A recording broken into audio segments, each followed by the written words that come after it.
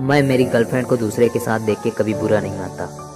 क्योंकि मेरी माँ कहती है, खेला हुआ खिलौना गरीबों में बांट देना चाहिए। तुम हसीन हो तो फाड़ में जाओ। हम किसी के नखरे झेलते नहीं हैं। पबजी के दीवाने हैं पबजी खेलते हैं। दुनिया कहती है, इस करो, वफा करो। मैं कहता हूँ, सब चीज़ों को दफ़ा करो।